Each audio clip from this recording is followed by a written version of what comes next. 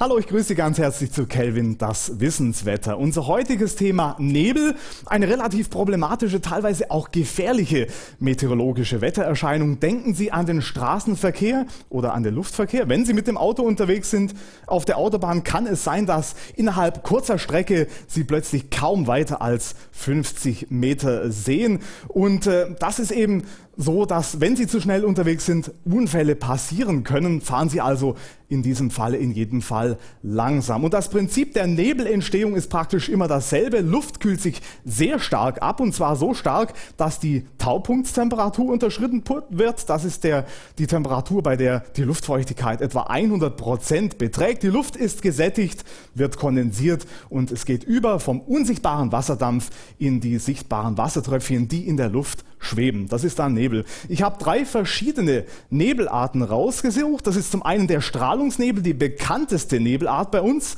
Die Luft kühlt sich stark ab in einer wolkenlosen, windstillen Nacht und die Luft kondensiert hier unten in den Tälern und dann bildet sich dichter, dichter Nebel. Der Mischungsnebel, eine weitere Nebelart.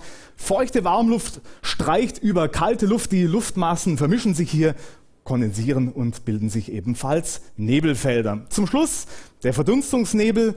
Warme Seen und Weiher verdunsten, darüber liegt kalte Luft und hier bildet sich ebenfalls dichter Nebel. Und denken Sie dran, wenn die Sichtweite unter 50 Meter beträgt, Nebelschussleuchte einschalten.